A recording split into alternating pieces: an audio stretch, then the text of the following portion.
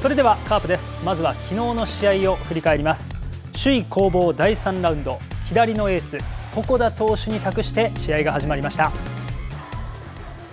連敗ストップを託された先発床田の立ち上がり。伸びのあるストレートで坂本から三振を奪うなど巨人打線を三者凡退に抑えます。2回ヒットとフォアボールなどで巨人先発戸郷からチャンスを作ったカープ。打席には床田。バットを振り抜くもピッチャーライナー。先制点とはなりません。3回。7番浅野にチーム初ヒットとなるツーベースを許した床田。続く8番門脇は送りバントの構え。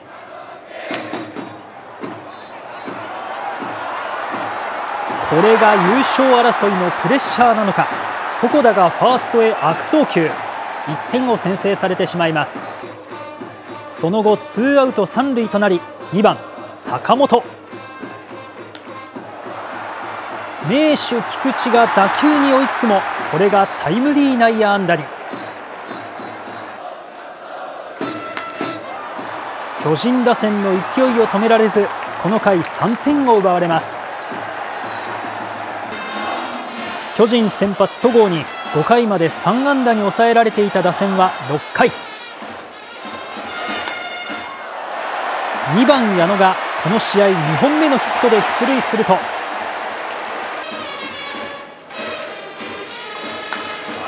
4番小園はライト前へ。続く坂倉がフォアボールでワンアウト満塁。ホームランが出れば逆転の場面で6番堂林。ここは戸郷のフォークにバットが空を切ります。続く7番末金歓声はため息に変わり首位巨人に3連敗です。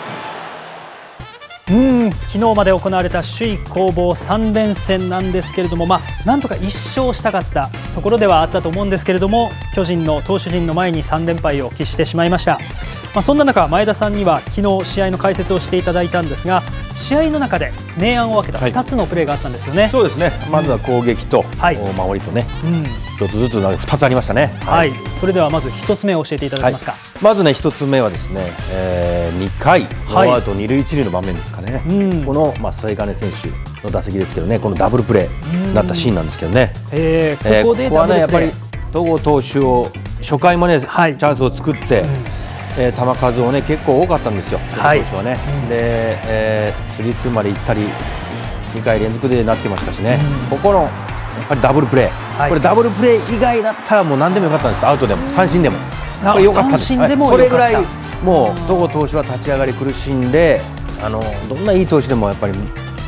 ね、制球を定めるのは難しいですから、はいうん、だからそこをなんとかつきたかったんですけど。序盤で1点でも入っていれば変わっていたかもしれない。やっぱりも絶対変わってましたしだから2つのアウトで三塁になって敬遠してピッチャーでっていうそういう打順でした、はい、はい、そういう流れで抑えられたんでね、このダブルプレー痛かったですね。やっぱり先制点というのは大事なんだなと感じました、そして2つ目も教えていただけますか、はい、2つ目はやはり3回ですね、はい、この守りでバント処理のミスが出たシーンなんですけどもね、はい、まあ、このシーンですけど、うん、まあ、ピッチャーとサードの間に、まあ、バントが転がるんですけどね、このシーンを見ていただいて、まあ、ちょうどもう床田投手はバントがこうサード側に来たらイメージして取って投げるってこの練習はもうずっとやってますから、キャンプのキャンプの時からも、はい、だからもうこれは自然と身についている。しかも左投げなので取ってすぐ投げれるんですよ、その中で小園選手が戻るのが遅れたんです。ここで前に出て、はい、これがねやっぱり小園選手がサードを守ることが多くなっているんですけども、はいこのとっさの動きっていうのはなかなかね不慣れなところが出たかなという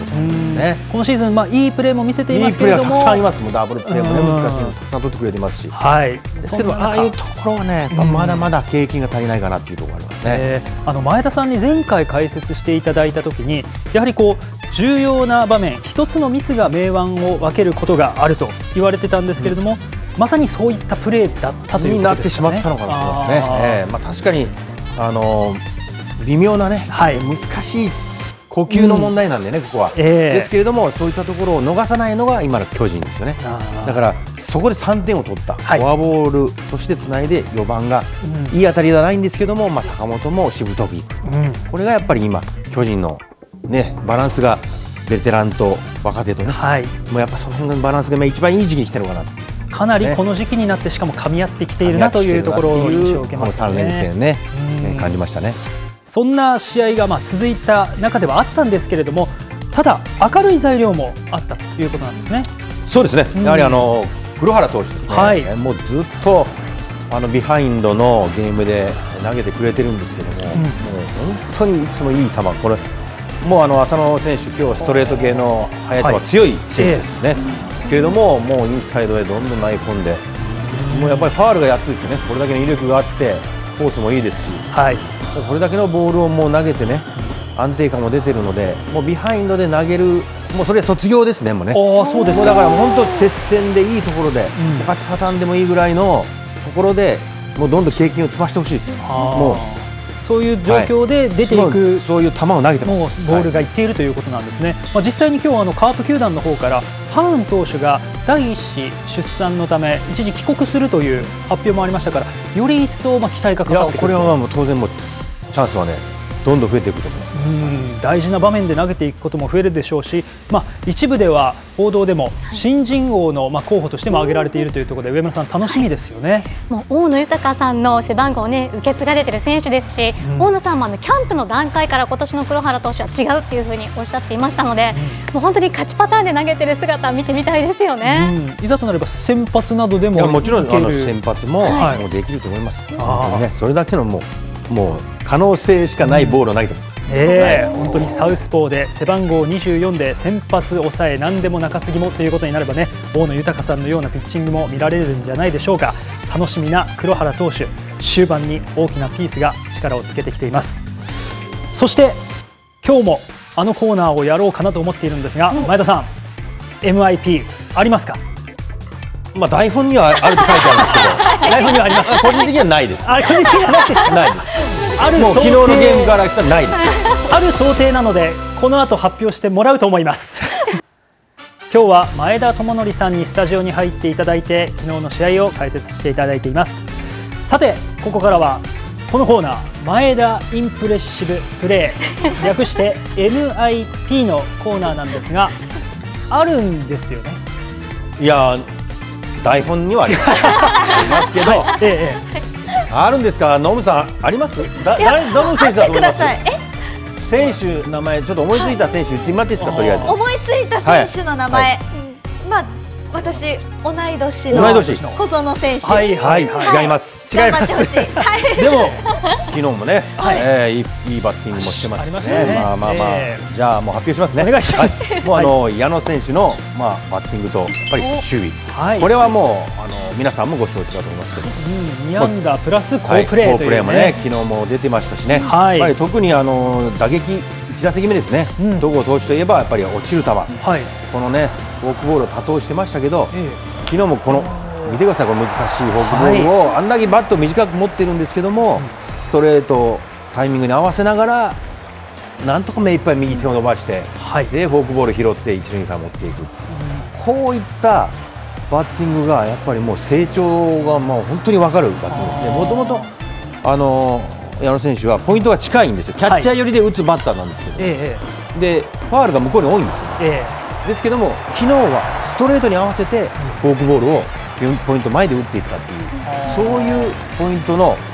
前に置くこともできるなっているんですね、これ。なるほど、いろんなポイントで、また自分のミートポイントを持ちながら、ヒットコースにも飛ばせる打撃技術が備わってきているということなんですね。この守備ですね。えー、そうなんですね。これはもう皆さんも今年レギュラーを守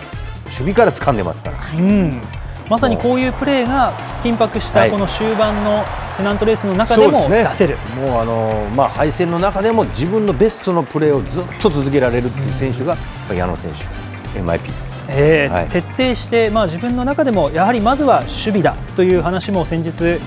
聞いた時に話をしていましたし、その中で、まあ、先ほど前田さんバッティングのお話もありましたけれども、はい、得点圏でも僕はちゃんと結果を残せるように頑張りたいというようなことも本人は話していやもう出してますよ、やっぱりもう、うん、あのランニングホームランもありましたし、はい、ね、そうでした。もうホーム長打も打てるようになって、えー、チャンスでもね、うん、えー、本当にバットでも貢献、数字以上にすごく貢献していると思います。えーはい、大きく成長を見せているこの2024年シーズンの矢野選手、はい、昨日のゲームは MIP に選ばれました。はい、さてではここで順位表をおさらいしましょう。はいカープはですね、まあ、首位攻防の戦いを受けて巨人と4ゲーム差の2位という位置につけています。前田さんこの順位表今 表情が少し、えー、厳しくなりましたけれども、いや、はい、もうギリギリでしょ今がギリギリ。もうギリですでもまだ大丈夫ということですねもちろん優勝のチャンスはまだありますよ、全然ありますえー、ありますけどギリギリだと思います。ここよりか離されてしまうと、はい、という今日のゲームで、はい、もし、はい、ね離されてしまうと、もう本当に厳しくなるので、えーまあ今日のゲームは本当に大事です。はい。で今後の日程なども見ていこうと思うんですが、はい、今後の日程ですね、まあ、まだね、やっぱり巨人と、はい。まあ、ホームで3ゲームありますよね。3試合、はい、はい、残ってます。この3試合っていうのは、まあ、また来週なので、ええ、またこう空気も、流れも変わってますから、はい、まだチャンスはあります。そして、うん13勝5敗ヤクルトとの相性がすごくいいんですね、今年、はい、でそれが7試合残ってます。ここですね、はい、ホームで3試合、ビジターで4試合、はい、残ってます、うん、ただね、ビジターのこの4試合を頑張る必要がありますね。神宮球場で戦うヤクルト戦、神宮のヤクルトはやっぱり松田とは違うので、ここでの頑張り、そのためにもやっぱり今日なんです。今日もうガッと離されると5ゲームになるともう危険なので、はい、はい、本当に大事なのが今日の試合と今日ですけどもことになるわけですね、まあ、頑張ってくれると信じてですね。はい。まあそんな中ですね、実は今日の DNA が中日に敗れて、そしてジャイアンツが勝ってカープが引き分け以下だと、まあ、巨人にマジックが点灯する可能性があるというそうです、ね、本当に大事なだから今日の試合と。ただまあマジックが点灯してもまあ12ですか、はい、はい、12です。今日点灯すれば12です。選手の立場からしても、うん、マジックが2桁っていうのはそうないですよ、残り試合も少ない中で、えー、マジックは12ぐらいですから、うん、これがもう1桁で5ぐらいになると、選手も、もしかすると。届かないかなと思いますけど、まだ全然、試合数も試合数も少ない、マジックもまあ多いということ。で、大丈夫です、その辺はまあ心配しないでください。とにかく今日のゲーム、今日です。まずはしっかり取りに行こうというところで、今日カープは阪神甲子園球場でタイガースとの一戦を迎えます。先発投手は前田さん大瀬良投手大瀬良投手前回ねしっかり修正していって、はい、もう今シーズンはこのままね、うん、今年あのややってくれると思いますんでね、はい、ねもうこれは大瀬良投手は僕は心配ないと思います。タイガース戦での成績も出ていますけれども、今シーズンは5試合に投げて2勝負けなし防御率1.14甲子園では21イニングを投げて1失点。いやもうだからこれだけのアウェーで、はい、もうこれだけのね、うん、えー、数字を残すとも、うん、今日もやってくれると思うので問題は、はい、もう援護しかないんですよ。なるほど、はい、ということで援護です。だ昨日完封されてるんでもう初回からしっかりと、はい、もう初回からいってほしいです。ということですね、はい、まあ、相手ピッチャーサウスポーの高橋投手なんですけれども高橋投手もいいですよ。いいんですよね。いいんですけども、はい、やっぱり彼も、うん、あの怪我から復帰して今年間を分けて投げてますけど、はい、ずっと今までやってないわけですから、ね、何かやっぱ立ち上がりは難しさが絶対あるので。はい。ゲーム差のない状況で戦う2位、3位の直接対決でもありますからね、オーダーとしては秋山、矢野、小園、堂林、坂倉、末金、菊池、相澤ときてラストバッター、大瀬良投手です。うん、この並びはいかがでしょうか、えー、まあ、高橋投手ということで左投手なんでね、はいうん、えー、まあ、こういうオーダーできましたね、えー、まずはまあ多分秋山、矢野、小園ね、はい、この辺がまあしっかりまた塁に出てくれると思うんでね、うん、あとは返す選手ですね。そうですね。はい、まあそこに期待するしかないです。しっかりと得点を奪って大瀬良投手が抑えてかつ連敗を止めて優勝に向けて進んでいってもらいましょう。はい